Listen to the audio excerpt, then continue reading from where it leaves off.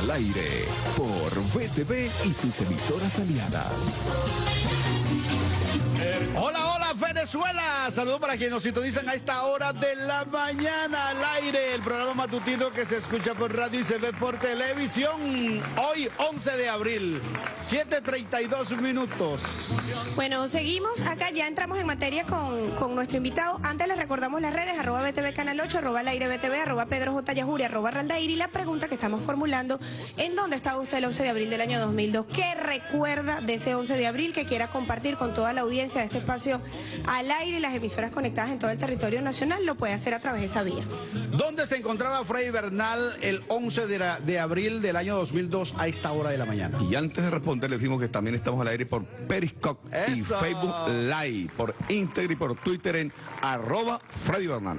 Ajá, no te llevamos nada. Ajá. Bueno, David, fíjate que a esta hora, siete, ¿qué? 8 de la mañana, ¿no? Siete y media de la mañana. Siete y media. Fíjate, a las 6 de la mañana, el, voy a, a retrotraerme dos días.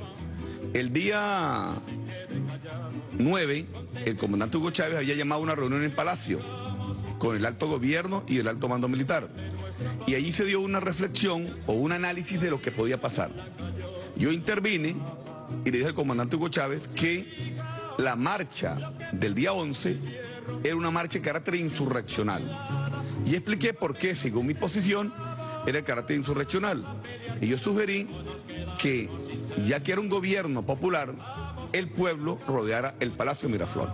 ¿Qué le hacía pensar que esa marcha... Todos los, tenía otra elemen- intención? todos los elementos que se habían movido en los últimos días, de odio acumulado, de mensajes opositores, de lo que hacía Carlos Ortega, de lo que hacía Carlos Fernández, de lo que hacían los medios de comunicación, de la matriz de opinión que llevaba Globovisión, señalaba que la marcha tenía carácter insurreccional para derrocar el gobierno.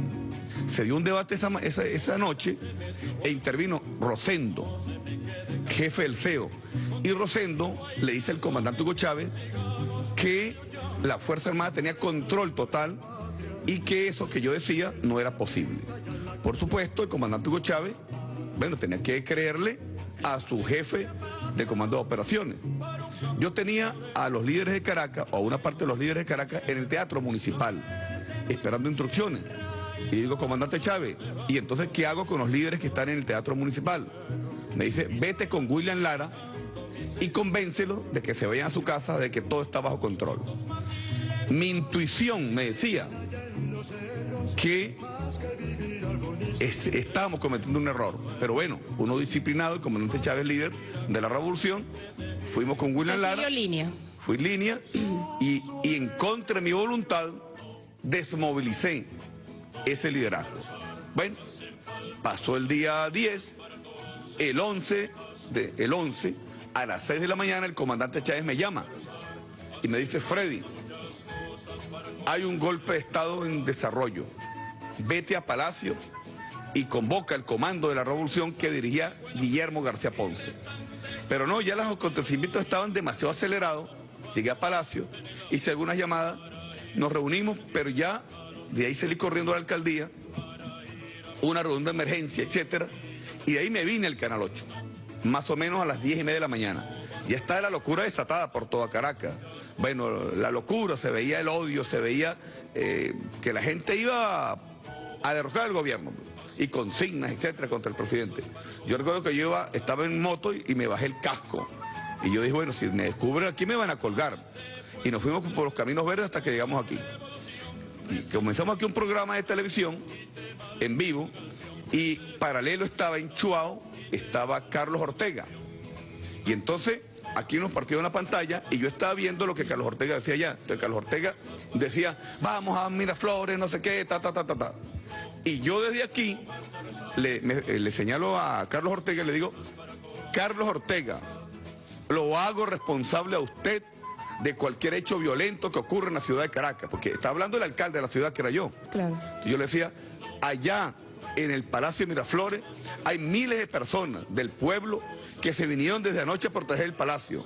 Enviar una marcha al centro de la ciudad es buscar una confrontación entre el pueblo que puede eh, dar como saldo heridos y hasta muertos. Usted será responsable ante la historia.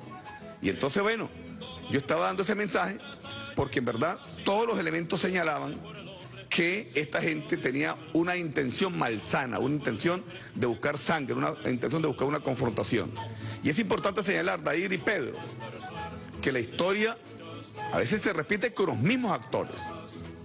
¿Dónde estaba Capiles Radón que ese día? Estaba en la marcha, acompañado de la policía del Estado de Miranda armado. ¿Dónde estaba Leopoldo López? La policía de Baruta. de Baruta. De Baruta. ¿Dónde estaba Leopoldo López? Estaba en la marcha. ¿Dónde estaba eh, el general Lameda? Estaba en la marcha. Y en esa marcha, ahí en esa marcha habían policías de civil armados. Ahora, 15 años después, Leopoldo López desde la cárcel sigue llamando a derrocar al gobierno. Capiles Radonqui, ahora gobernador de, de Miranda, sigue llamando a la insurrección.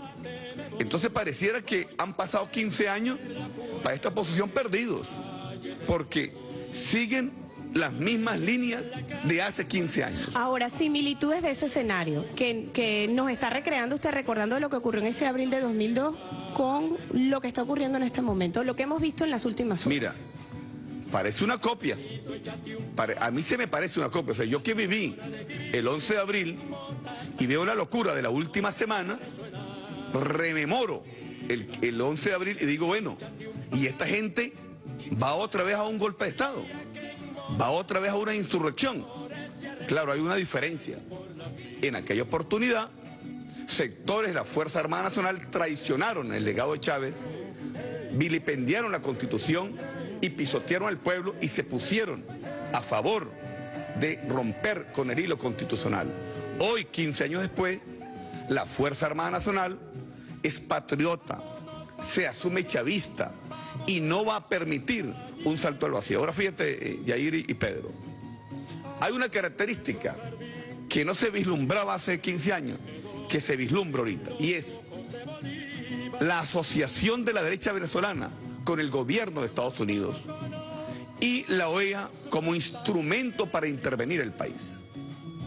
Yo no tengo la menor duda que actores que han hablado con Marco Rubio, han negociado Venezuela a costa de una intervención. Han negociado las enormes reservas de petróleo, han negociado el arco minero, han negociado las enormes reservas de agua y minerales estratégicos a costa de una intervención. Ahora, yo hago la siguiente reflexión, no solamente para los patriotas, lo hago para los opositores. ¿Será que si aquí nos aplican la Carta Democrática como preámbulo a una acción militar de cualquier tipo, ¿Será que solamente van a venir a buscar a Pedro, a Yair y a Freddy Bernal? Yo digo, es ignorancia. O sea, el odio llega tal que se transforma en ignorancia. Fíjate, Libia era un país de apenas 6 millones de habitantes. Y en la intervención norteamericana murieron 100 mil personas, 240 mil heridos, más de 25 mil desaparecidos y un país destruido. ¿Queremos eso para este país por odio a la revolución y odio a todo lo que representa el chavismo. Y ahí lo, ahí lo detengo, porque eh, ya vimos, hemos visto el escenario, hemos visto la actuación eh, de sectores de oposición. Eh, yo siempre digo, bueno, estoy segura que la mayoría del sector oposición no quiere violencia para el país, pero evidentemente hay un sector que está en cada una de esas movilizaciones con un objetivo claro. Pero ¿qué le decimos a ese pueblo chavista que lo ve, que transita las calles? Hablo de Caracas, pero habrá que ver también cómo están otras gente del país que transita y que ve destrozos, que ve imágenes ahora a través de redes sociales, porque ahora se ve a través de redes sociales, videos, ataques, insultos. ¿Qué se le dice a ese pueblo chavista? Primero, dos cosas. Esto es una guerra fundamentalmente mediática. ¿Por qué te digo mediática? Yo ayer estuve de guardia en el Palacio de Miraflores y me quedé sorprendido en verdad que hay un canal que se llama VIP TV Español un canal dedicado única y exclusivamente a Venezuela, pero lleno de odio. O sea, tú estás en España, tú estás en Europa o estás en Estados Unidos y ves ese canal y tú asumes que aquí hay una guerra civil. Tú ves NTN 24, que lo vemos allá en Palacio para monitorear toda la, esta guerra contra el gobierno, y tú dices, bueno, pero qué locura es esta. O sea, canales internacionales dedicados única y exclusivamente a exacerbar los ánimos, a generar odio y violencia y las redes. ¿Por qué te hago esta reflexión? Yo eh, ayer había un kilómetro cuadrado incendiado, por decirlo así. Venezuela tiene 916.050 kilómetros cuadrados. Porque unos locos incendian un kilómetro no significa que eso es Venezuela. Yo ayer fui a una asamblea en Katia a las 5 de la tarde con líderes sociales. Todo el oeste estaba tranquilo, todo Caricuao, Macarao, centro, norte estaba tranquilo, pero absolutamente tranquilo, no pasaba nada. Ellos han intentado levantar una locura como el 2014. ¿Qué es lo que han hecho? Se reúnen en la Plaza de la República en Zulia, de ahí no pasa. Se reúnen en una plaza en Barquisimeto, uno que otro foco en, en Valencia y del foco de siempre aquí en Altamira. Eso no es Venezuela, eso no es Venezuela. Esto no representa a la mayoría de los venezolanos. Y yo estoy seguro que sectores opositores, estoy seguro que sectores opositores, seguramente quieren salir del gobierno democráticamente, pero no están de acuerdo con quemar, con destruir semáforos, con quemar el Consejo de la, de Judicatura como lo quemaron, con incendiar el Ministerio de Transporte y Comunicaciones. Yo estoy seguro, a quienes me están viendo aquí algunos opositores, que muchas de esas madres opositoras no quieren que sus hijos vayan a una manifestación a actuar como vándalos. Estoy seguro. Ahora, ¿qué hacer nosotros? Bueno, lo que nos enseñó Chávez. Solo un pueblo organizado, consciente y movilizado es capaz de derrotar la ignominia, la mentira y la intriga. Nosotros, ayer hicimos asamblea en todas las parroquias de Caracas. Yo asistí a mi parroquia Sucre. ¿Qué se abordó en esas asambleas? Primero, la reflexión del momento histórico, esto que estamos haciendo, y la clarificación a nuestro pueblo de que hay un golpe de Estado en desarrollo con apoyo de los Estados Unidos, con la OEA como instrumento para intervenir a Venezuela y con actores que definitivamente han vendido al país ante el capital extranjero. Entonces nosotros, por ejemplo, hoy, hoy estamos convocados alrededor de la Asamblea, pacíficamente. Vamos a tomar las cuatro esquinas de la Asamblea y Puente Ayaguno. ¿Por qué Puente Ayaguno? Porque Puente Ayaguno es el símbolo de la resistencia. Ahí vamos a estar convocados hoy, mañana y pasado mañana. Tres días de convocatoria rememorando el 11 de abril. Luego vamos a asistir a las iglesias. Ah, porque ahora quieren tomar las iglesias como una trinchera de batalla. Bueno, nosotros somos cristianos en la inmensa mayoría. Somos católicos y vamos a asistir, pero a entregarnos a, Dios. Vamos a asistir a levantar la bandera del amor contra las banderas del odio. Fíjense, vamos a hacer un paréntesis porque entiendo 7 de la mañana, 44 minutos. Ya comenzamos a ver las pantallas. Ustedes también los que están a través de las pantallas de Venezolana de Televisión. Tania Díaz, Aristóbulo Isturiz, el diputado Diosdado Cabello. Hoy hay un con el mazo dando y dando, pero ahora le sumo al aire con el mazo dando y dando. Le damos la bienvenida, que se hayan sumado a este espacio. Le saludamos desde acá Freddy Bernal, Pedro Yajure, Dairral. ¿Cómo están? Buenos días. Buenos días, hola, hola, hola, Venezuela. Hola, hola, Venezuela. Abrazo bolivariano, Venezuela. Gracias. Estamos con el mazo dando y dando al aire. Así es.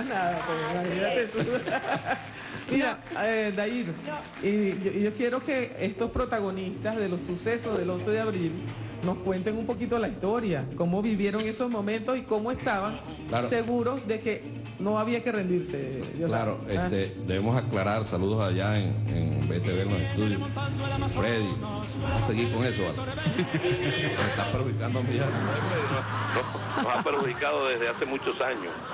Fíjate que cuando pasó en Paraguay lo del, del Congreso, en Paraguay, los sucesos, pero fue Freddy Bernal. estábamos comentando aquí que ustedes eran en el... Freddy Bernal y los colectivos. Diosdado, Aristóbulo y Freddy Bernal eran los más buscados, eran los que ya los medios de comunicación, en serio, criminalizaron y, lincharon a mí dos veces me mataron con Aristóbulo. Yo lo escuché por, por una noticia. Y esa noticia no solo la escuché yo, la escuchó mi mamá. Y seguramente los familiares de Aristóbulo. Eh, muertos, Ciudadano Cabello, Aristóbulo y un enfrentamiento con los cuerpos de seguridad. Después me mataron con Freddy Bernal y después me mataron solo.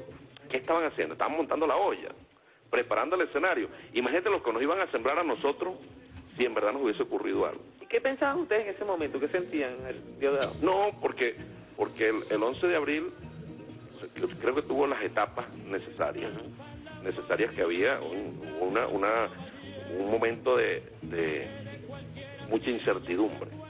Yo hablé con Freddy, otra vez Freddy, y le dije a Freddy, Freddy lo puede contar mejor, yo lo llamé como a las 11 de la noche, y le dije, Freddy, tengo 40 hombres. Hombres. Y nosotros nos vamos para la resistencia. Y Freddy me dijo, yo soy un soldado de ese pelotón, Freddy Bernal. Yo con Aristóbulo no, no conversé en, ese momento, pero yo estaba donde estaba y, Freddy estaba por incorporarse al grupo que yo tenía. Y yo conversé con el presidente Chávez y se lo dije también. Mi comandante Chávez me echó la bendición, hijo, cuídate, me dijo. Le dije, no, mi comandante, yo voy a hacer lo que tengo que hacer. Yo voy a hacer lo que tengo que hacer y de aquí en adelante me dedicaré lo que me quede de vida. Se lo dije a Ronald Blanco en Táchira. Ronald inclusive lo declaró, que había hablado conmigo y, que yo le había dicho que pasaba la resistencia la resistencia armada porque no quedaba de otra mm. no quedaba de otra eh, parece una cosa cómo se llama este de la imaginación. no, y de una utopía. Pero cuando uno está decidido, cuando uno cree lo que está haciendo, no le queda de otra que poner su vida ahí. Nosotros lo hicimos. Aristóbulo lo hizo, que no se metieron a la... ¿Cuánto persiguieron a Aristóbulo? ¿Cuánto persiguieron a Freddy? A, Nicolás y a Cilia. Les llegaron, les llegaron hasta les dispararon al carro donde iban ellos. Mm. Eh, eh, fue a, Iris, nos fueron a buscar hasta la hasta la embajada este, cubana como que nosotros fuésemos bolsos para meter una embajada. Pero ellos, para que tú veas el carácter democrático de ellos, ellos no respetaron ni siquiera. La embajada. Las embajadas. La embajada, sí. y son los mismos, Tania. ¿Cómo nosotros nos vamos a quedar de brazos cruzados? No, y no solo eso, después de eso, pues fundaron partidos políticos, se lanzaron a candidatos presidenciales en esta dictadura. Hay que buscar la quería preguntar, hay que buscar la Freddy no va a decir nada. Aquella revista que decía. Vamos a dar la palabra a Freddy más bien Freddy, ¿se repite, ¿se repite el guion del 11 de abril 2002 en los actuales momentos? Mira, primero yo quiero decir que desde que conocí a ese señor que se llama Diosdado Cabello en el Ministerio del Interior, yo no he hecho sino estar de lista en lista. A mí me ha perjudicado la amistad con ese señor que está ahí, Diosdado no. Ha, no ha salido de una lista usted. Así es. Yo estoy en todas las listas menos en las de ascenso. Mira, bueno, Diosdado, saludo, compatriota Diosdado, eh, Aristóbulo Isturi, que también estuvimos allí al frente de esa batalla el 11 de abril junto con nuestro pueblo. Y por supuesto Tania Díaz. Bueno, yo lo reflexionaba hace rato. Eh, que se me parece mucho lo que está pasando ahorita al 11 de abril, con la diferencia que la Fuerza Armada Nacional Bolivariana es chavista, patriota y no va a permitir ningún salto al vacío y no va a permitir que esto fascineroso e incendie el país. Y también decía que ayer estábamos de guardia en Miraflores, Aristóbulo y yo, y veíamos que hay un canal de televisión, VIP eh, español, y NTN 24, que si uno ve ese canal, en verdad cree que hay una guerra civil en Venezuela. Y esta, esta guerra, a diferencia de la del, 11, la del 11 de abril, fueron los medios formales, pero esta es una guerra de redes sociales. El que ve las redes sociales se imagina que estamos a punto de una guerra civil y que aquel país está incendiado y no, es un kilómetro cuadrado que estos locos incendian todos los días o tratan de incendiar, mientras que el resto del país está tranquilo. Yo ayer fui a una asamblea en la parroquia Sucre a las 6 de la tarde, todo el oeste está tranquilo, todo el sureste está tranquilo, todo el norte está tranquilo, el resto del país tranquilo. Ah, pero esta gente toma un sector del este de Caracas, lo incendia y lo vende ante el mundo. Por eso es que Diosdado y compatriota Aristóbulo Isturi, esta marcha del 19 de abril, seguramente eh, la intención de ellos es incendiar el país y generar allí, quién sabe, qué plan oscuro. Así que nosotros, como siempre lo hemos hecho, Diosdado, sé que también el 11 de abril nos vamos el, 19 de abril nos vamos a concentrar en paz y en democracia. Y bueno, Diosdado, igual que, que hace 15 años, cuando tú me llamaste en aquella madrugada y conversamos, y tú me dijiste a mí, bueno, me voy a la clandestinidad. Y entonces yo te dije, bueno, méteme ahí ese gobierno. Entonces soy el alcalde de Caracas en la clandestinidad. Bueno, igual que hace 15 años, yo te ratifico a ti, a Aristóbulo, a Tania, al pueblo, que venga lo que venga, pase lo que pase, en la circunstancia que sea, ahí estaré junto al pueblo, leal al legado de Chávez, leal al presidente Nicolás Maduro y leal a este pueblo que lo ha dado todo por nosotros y nosotros tenemos que darlo todo por él. Ahora, desde acá yo le formulaba esta pregunta a, Freddy Bernal, integrante del Partido Socialista Unido de Venezuela, y ahora se la formulo al diputado Diosdado Cabello y también a Aristóbulo Isturi, y yo le preguntaba cuál es ese mensaje al pueblo chavista y recreo rápidamente ese pueblo chavista que sale a las calles un día como hoy y ve destrozos, ve videos a través de redes sociales, ve ataques, ve faltas de respeto a las autoridades, Guardia Nacional Bolivariana, Policía Nacional Bolivariana. ¿Qué se le dice a ese pueblo chavista que ya vivió un 11 de abril y cómo se le prepara para una situación como la que se está viviendo en este momento? Diputado Diosdado Cabello, buenos días. Al pueblo chavista y al pueblo no chavista Claro, porque aquí ocurre algo que no toda la oposición está de acuerdo con esos hechos terroristas de violencia desatada, desenfrenada, sin ningún tipo de control. No toda la oposición venezolana anda en venezolana eso. anda en eso. Hay gente que, que dice, yo soy opositor, pero yo no quiero esto. Estos son los que quieren gobernar este país. ¿Cómo lo van a gobernar? Bajo esa premisa. Ahora, ¿qué le decimos nosotros? Lo comentamos temprano en el programa. Tiene que, ver mucho con no hacernos eco de lo que está ocurriendo. De lo que, pero yo, de lo que no está ocurriendo. Mm. No nos hagamos eco de lo que no está ocurriendo. Cada vez que se deja correr un rumor, mira lo que están corriendo por cadena, ya eso es mentira. Que un pronunciamiento de no sé quién en tal lugar, ya eso es mentira. Ya eso es mentira, lo que ocurre es fácilmente comprobable, no se haga eco de, de, rumores, de informaciones que no estén comprobadas, porque eso no le, hace, no le hace bien a nuestro pueblo. Nuestro pueblo ha sido sometido a una guerra y es parte, eso está, mira, tú lees el manual de Jim Char, de la, de la dictadura a la democracia. Por eso es que ellos tienen que vender que esto es una dictadura. ¿Ve? Porque si no venden que esto es una dictadura, ¿cómo aplicas ese manual? pasas de la dictadura a la democracia. Qué bueno que llegó la democracia, porque antes había una dictadura y hay que salir del dictador y de los dictadores que están allí. Nuestro pueblo, yo lo, lo que le pido es que tengan mucha calma, mucha paciencia.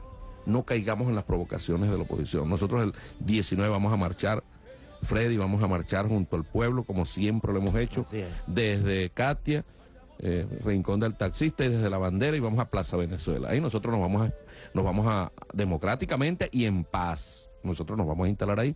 Porque qué, qué cosa, ese kilómetro cuadrado, Freddy, que está en, el este del este de Caracas, este, quiere meterse para el oeste, quiere meterse para las zonas populares de, de Caracas, solo para amargarle la vida a los que viven en, esa, en esos lugares. imagínate que ellos llegaran a la Defensoría del Pueblo. ¿Qué le harían a la Defensoría? ¿Tú te acuerdas lo que le hicieron a la, fiscalía, A la Fiscalía en el 2014. ¿Qué le harían a la Defensoría? ¿Vamos a permitir nosotros que eso ocurra? No debemos permitirlo.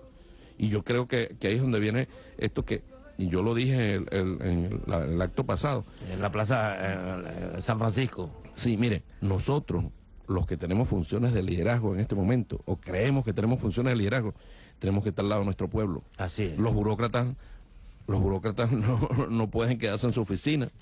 Eh, defender la revolución no es solo de nuestro pueblo de la calle. Por eso es el llamado a aquellos que son presidentes de institutos. yo soy presidente del instituto, yo no voy para la calle junto al pueblo porque eso, yo no me nombraron para eso. Sí, compadre, te lo nombraron para eso yo para defender la revolución. Para que deje a los trabajadores ir también. Sí, pues e, exactamente, para que los trabajadores que estén ahí no vaya usted a, cerrarle la puerta al que vaya, está votado, no la defensa de la revolución. Palabras más, palabras menos. Cuando el clarín de la patria llama, Así hasta el llanto de la madre calla. Mira, fíjate, Diosdado, ese día, cuando uno ve hacia atrás y ve el 11 de abril, una diferencia es, como decía Freddy, la Fuerza Armada había, yo me acuerdo, yo me acuerdo que nosotros reunidos con el presidente Chávez, Freddy, y Chávez nos dijo, bueno, se ponen de acuerdo con Rosendo. y nosotros nos sentamos con Rosendo y con... Y fue como una, como, como, ¿cuánto? Como una semana antes, ¿verdad? Como una semana antes, ¿entiendes? Este, el presidente nos dijo que, que, que Freddy y yo nos encargábamos de la parte junto con ellos en el comando, ¿no? Y nosotros, ay, a mí se me fue la lengua, Dios dado. y dije, bueno, el ministerio está cerca, tenemos tres sótanos, etcétera, las colchonetas. bueno, se la pusiste facilita. Se la puse facilita.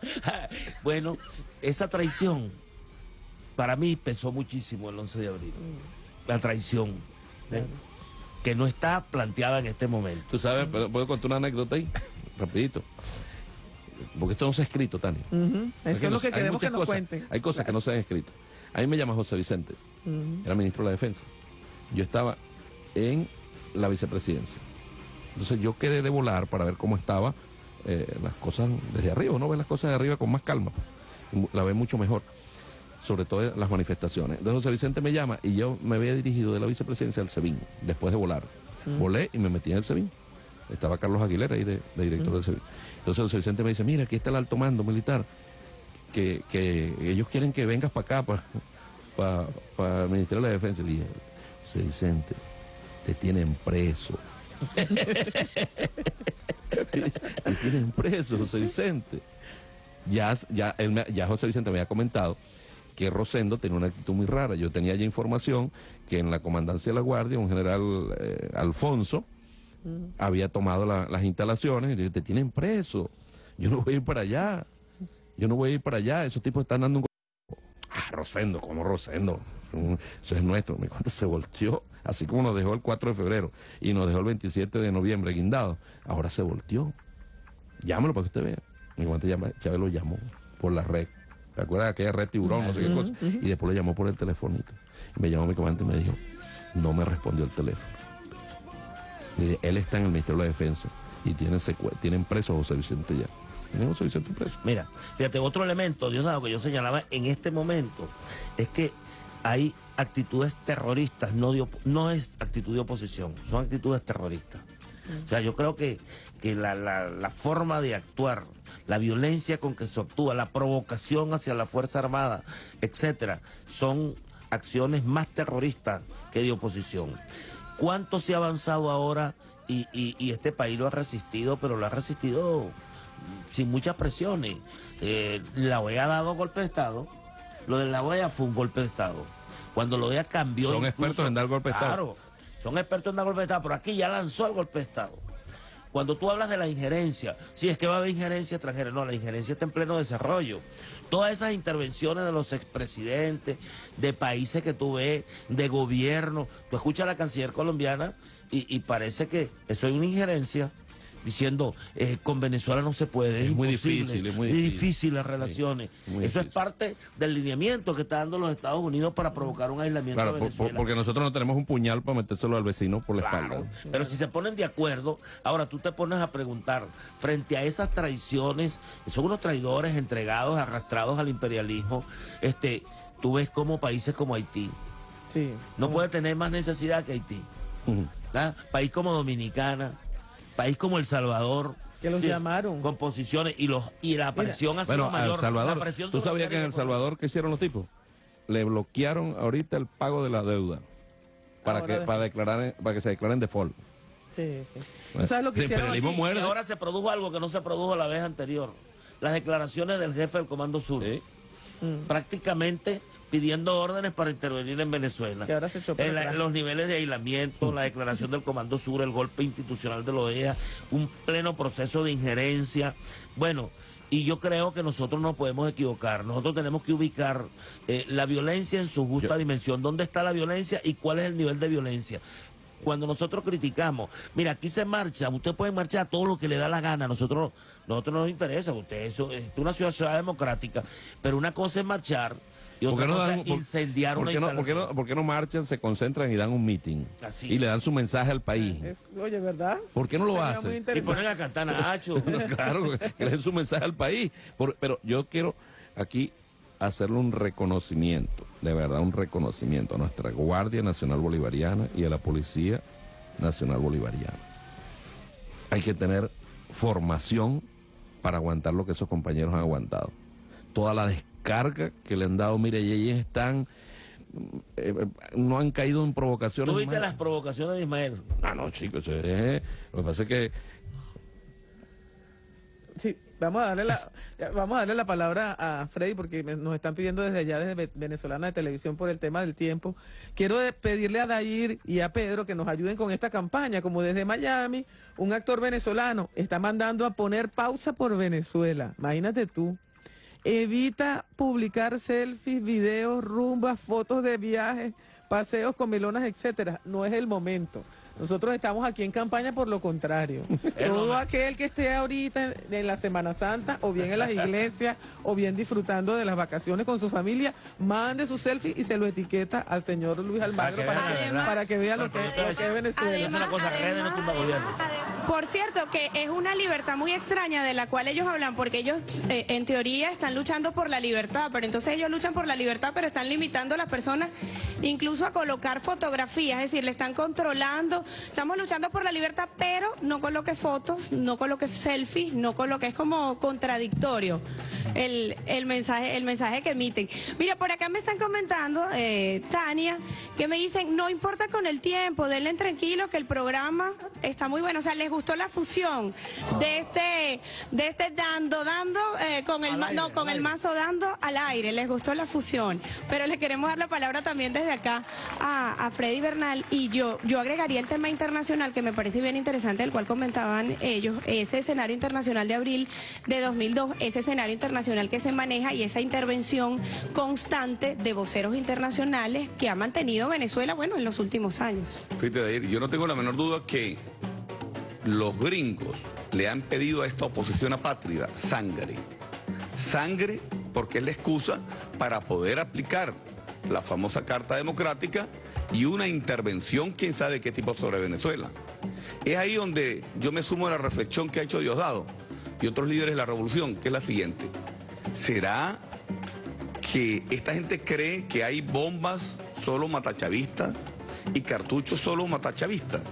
Yo te hacía con un comentario Diosdado, en estos días, hace como tres días, yo oía una radio opositora y en verdad me quedé sorprendido de lo que oía. Había un debate ahí entre dos periodistas y uno de ellos decía que cuál era el problema que una fuerza extranjera interviniera en Venezuela. Que cuál era el problema que los Estados Unidos se metieran en Venezuela. Que a lo mejor eso era mejor que el régimen de Maduro. Y en verdad yo escuché eso y me dio, primero, tristeza. Tristeza porque eh, quien está hablando es un venezolano. Y segundo, en verdad yo dije, bueno, este, este es un imbécil. Porque pretender una invasión sobre Venezuela sin medir las consecuencias, como ocurrió en Libia. Libia era un país de 6 millones de habitantes con el más alto nivel social de África. Y en intervención norteamericana, un país de 6 millones de habitantes, murieron 100 mil libios, 240 mil heridos, más de 50 mil desaparecidos. ¿Y hoy qué es Libia? Bueno, destruyeron ese país. Entonces yo digo, ¿será que el odio de algún sector de oposición es tal que los lleva a la irracionalidad de añorar una fuerza extranjera en Venezuela. Digo yo, en verdad que es una locura, es una locura y por eso, como nosotros, como nos enseñó el comandante Hugo Chávez, por un lado, ratificar eh, esta lealtad y esta paciencia de la Fuerza Armada Nacional en la persona de la Guardia y la Policía Nacional Bolivariana. ¿Qué quieren ellos? Ellos quieren ellos por eso que amedrentan, por eso que ellos ofenden a la policía y los golpean y a la guardia, porque quisieran que un guardia haga uso de la fuerza pública y caiga un muchacho de esto muerto. Y también provoca a nuestro pueblo. Así que yo creo que el peligro ahorita, Diosdado, en estos días por venir, es cuidarnos nosotros primero el chavismo no quiere provocaciones. Y segundo, el control que se ha mantenido de la fuerza pública, porque ellos quieren sangre, están como unas hienas, están buscando sangre para decir, ahí está el dictador, mataron un poco de gente y ahora piden la intervención humanitaria. Intervención como ya sabemos, la intervención como lo hicieron en Irak, en Libia. Así que bueno, Diosdado, Aristóbulo, compatriota Tania, nos vienen días duros, pero nos vienen días de victoria y nosotros estamos claros en el Partido Socialista Unido de Venezuela, como lo hemos discutido tantas veces, que nuestra mayor fuerza es el pueblo organizado, movilizado y consciente. Esa es la fórmula que derrotó el 11 de abril, esa es la fórmula que va a derrotar una vez más este golpe en desarrollo. poniendo bombas, este, destruyendo locales que están presos. Tienen que pasarle ese video, ¿vale? Tienen que pasárselo, que lo vean, que lo vean, que lo vean por eso que tú dices, ellos creen que hay unas bombas solo matachavistas o que las balas matachavistas. No, camarada, hay que ver a los niños de Siria, nada más. Veamos los niños de Siria. Bueno, mira, nosotros vamos a, despedir, entiendo, el contacto con Venezolana de Televisión. Vamos a, a, escuchar a José Vicente Rangel porque hace una buena reflexión sobre Puente Llaguno y vamos a dejar una pregunta al aire para después del corte, pero nos van a traer aquí un cafecito, ¿verdad? Que es este el escenario de Puente Llaguno.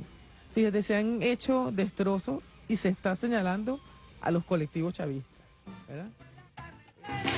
Bien, era entonces este este enlace. Estuvimos acá este enlace con el programa Dando y Dando. Mazo, eh, con sí, mazo dando con el mazo dando al aire y nos conectamos allí. Bueno, dejaba eh, Tania una pregunta para el para el equipo de, para el diputado Dejado Cabello. Ajá, yo quería preguntarle entonces a, a Freddy Bernal. Freddy, el 11 de abril de 2002 hubo mucho perdón. Sin embargo, en este tiempo de perdón se le ha, eh, la oposición no ha agarrado el escalmiento o, los términos democráticos que establece la Constitución Bolivariana de Venezuela para hacer política. Ellos han venido reeditando la violencia. En estas oportunidades que han venido copiando algunos hechos ocurridos en el año 2002, ¿se va a permitir más perdón? Mira, te voy a decir algo, lo va a responder luego de este video que vamos a presentar a continuación, porque tenemos extra inning en este programa y vamos a estar un rato más compartiendo con nuestro invitado, Freddy Bernal, integrante del Partido Socialista Unido de Venezuela, el tema que viene a continuación, ¿sí? Ah, tema que viene a continuación, lo va a anunciar, por supuesto, nuestro invitado, acá lo tenemos, es el número dos, ¿verdad, Fátima? No se alteró. No se alteró, Fátima. el número dos. Ahí está. Febreros y abriles con Amílcar Briseño. Ya venimos, estamos al aire.